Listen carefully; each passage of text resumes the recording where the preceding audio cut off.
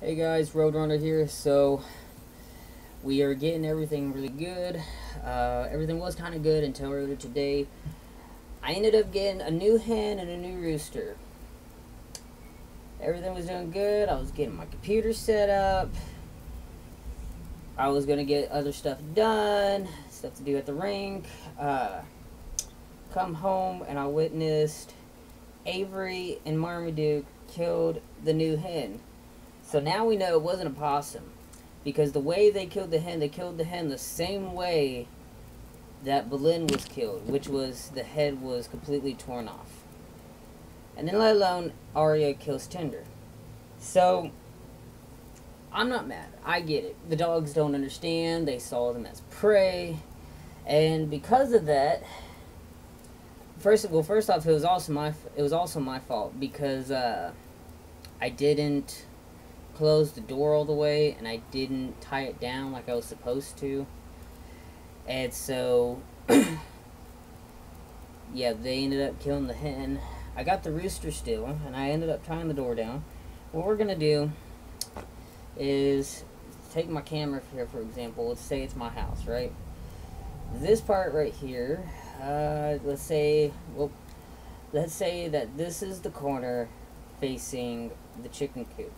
So from this corner to the fence right here, I'm going to build a complete straight fence that uh, will be made out of wood pallets.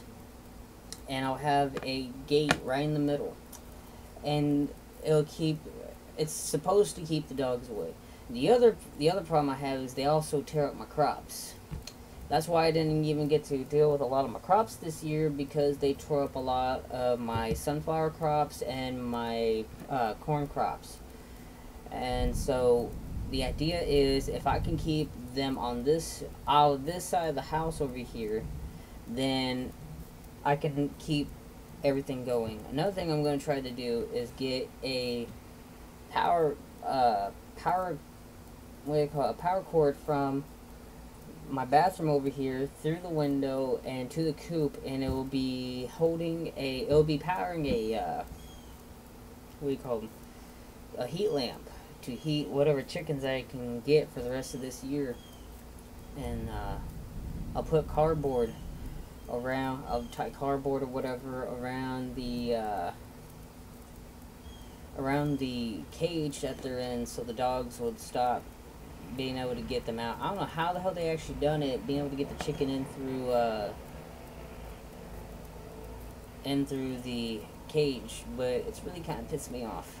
So, now I gotta try to find another hen, maybe a couple more, and, oh man, I was real, I was really excited too, because I, you know, they're wild, they're wild chickens, you know, they're not tamed or anything, but I figured, you know, you got a rooster and you got a hen, and that's all you really need as far as I'm aware, to start actually getting baby chicks and shit. So, I was I had my hopes up, but I'm hoping Aaron can come through and provide me with another chicken. I'm paying for all these chickens too, so you know he may, he's making money off them. so, anyways, that's the reason why uh, I've been trying. I tried to record with this again. I did record earlier, and the video came through and the audio came through, but they were they weren't synchronized together and like it didn't make any sense. Like the video was going faster than the audio. So I really don't think I'm gonna keep this. Like I'll keep it if I can figure out how to actually work this damn thing. But I think I'm just gonna have to keep recording off of this and then import it to my computer. I don't know. So anyways, uh peace. See you on the next video.